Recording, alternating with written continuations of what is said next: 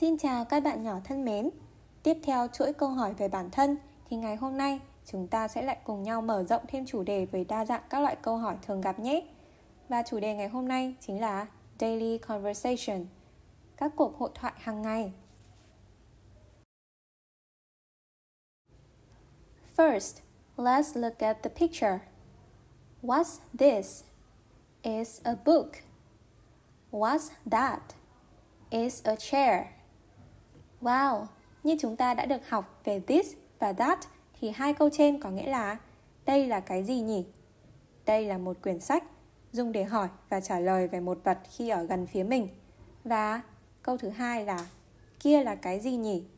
Kia là một cái ghế dùng để hỏi và trả lời về một vật khi ở phía xa mình.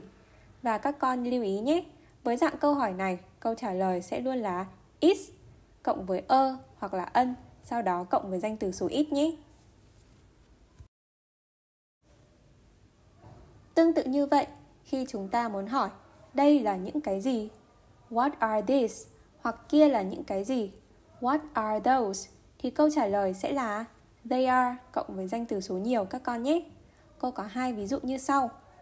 One. What are these? Đây là những cái gì nhỉ?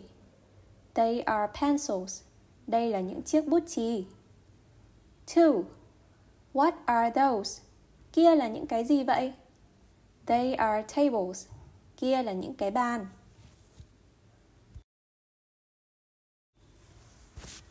Tiếp theo, các con hãy lưu ý rằng chúng ta cũng dùng câu hỏi với this hoặc that khi hỏi về người nhé. Cô có hai ví dụ như sau.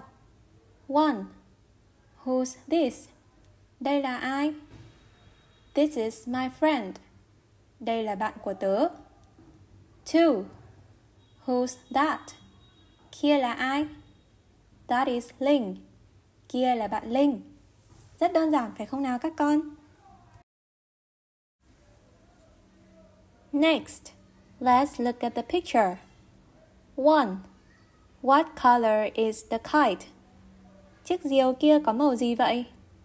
It's yellow. Nó có màu vàng. 2. What color are the balls? Những quả bóng kia có màu gì vậy? They are blue. Chúng có màu xanh. Các con hãy lưu ý thật kỹ nhé. Khi ta hỏi về màu sắc của một vật nào đó, chúng ta sẽ dùng cấu trúc câu là What color is?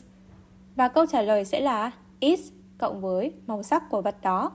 Nhưng khi ta hỏi về màu sắc của hai vật trở lên, chúng ta sẽ phải đặt câu hỏi là, What color are?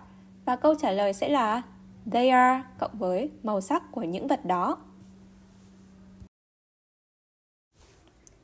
Bây giờ, hãy cùng quay lại với những quả bóng trên. Các con hãy trả lời những câu hỏi tiếp theo của mình nhé. 1. How many balls are there? Có bao nhiêu quả bóng ở kia? There are three balls. Có ba quả bóng. 2. How many books are there? Có bao nhiêu quyển sách ở kia vậy? There is one book. Chỉ có một quyển sách thôi. Chúng mình cùng nhau lưu ý nhé. Khi muốn hỏi có bao nhiêu, ta sẽ dùng cấu trúc câu là how many cộng với danh từ số nhiều cộng với are there. Nếu có nhiều vật, ta sẽ trả lời là there are cộng với số lượng và tên đồ vật. Thế nhưng đồ vật này phải ở dạng số nhiều nha. Còn nếu chỉ có một đồ vật thôi, ta sẽ dùng cấu trúc trả lời là there is cộng với a, an hoặc là one cộng với tên đồ vật.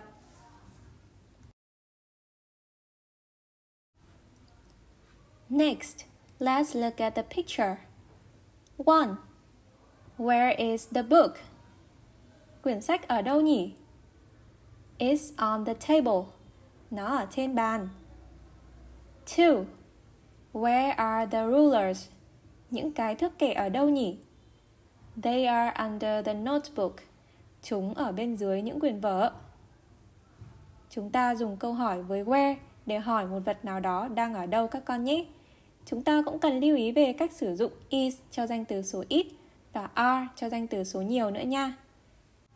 Như vậy, khi đặt câu hỏi, chúng ta sẽ đặt câu hỏi là where is hoặc là where are cộng với từ vật và câu trả lời tương ứng sẽ là is cộng với giới từ chỉ vị trí cộng với danh từ hoặc là they are cộng với giới từ chỉ vị trí cộng với danh từ.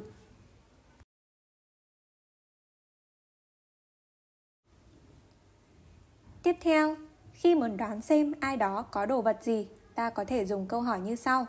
Have you got cộng với danh từ. Ví dụ, one, have you got a pen? Hoặc have you got pants? Câu trả lời tương ứng sẽ là Yes, I have.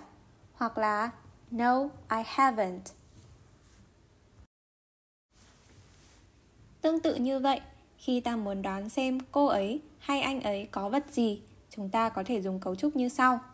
Has he got cộng với danh từ hoặc là has she got cộng với danh từ và câu trả lời tương ứng sẽ là yes, he has.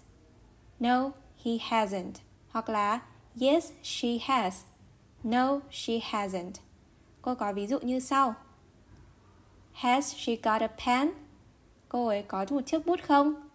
Câu trả lời sẽ là Yes, she has. Có, cô ấy có một chiếc bút. Hoặc là No, she hasn't. Không, cô ấy không có chiếc bút. Và mẫu câu hỏi cuối cùng đó là hỏi xem vật nào đó thuộc sở hữu của ai. Đối với câu hỏi này thì chúng ta sẽ dùng whose. Ví dụ như sau. Whose bike is this?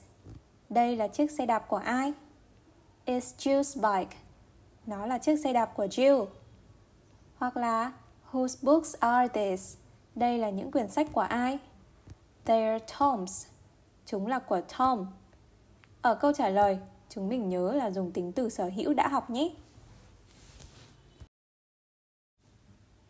Như vậy, qua nội dung bài học ngày hôm nay, chúng ta đã nắm rõ được rất nhiều mẫu câu hỏi có thể vận dụng trong giao tiếp hàng ngày rồi đúng không nào? Về nhà các con hãy cố gắng luyện tập và áp dụng vào việc trò chuyện với các bạn và mọi người trong gia đình mình nhé. Xin chào và hẹn gặp lại các con ở trong những bài giảng tiếp theo.